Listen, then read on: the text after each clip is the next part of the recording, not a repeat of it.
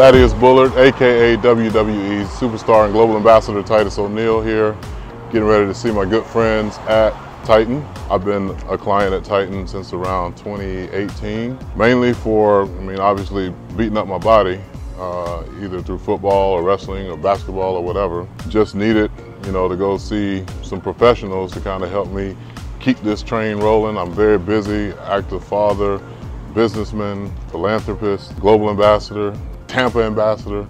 Uh, the list goes on and on. So to be able to function at the highest level on a regular basis and get my workouts, you know, I work out super early in the morning, like 5 a.m., uh, four or five days a week. Sometimes I have to work out three times in a day. I'll do lifting at five, uh, yoga at six, and then boxing at eight.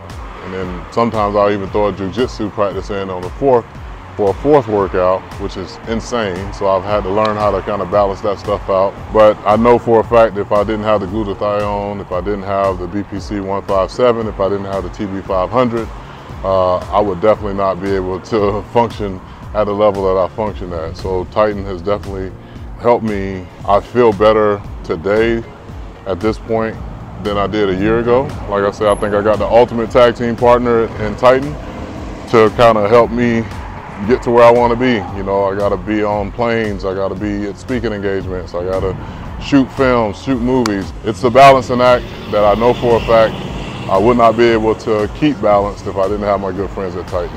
John and Sharice are awesome. They are first class in everything that they do. They're really like life coaches. So for me, I consider them friends, but also am proud to be a client. So there you go. Come on down to Titan, make yourself an appointment. All the information is right here, 727-389-3220, or you can make an appointment online. Just go to titanmedicalcenter.com, get yourself an appointment. I'm getting ready to go to my appointment. Got to get my blood work done. So with that being said, peace.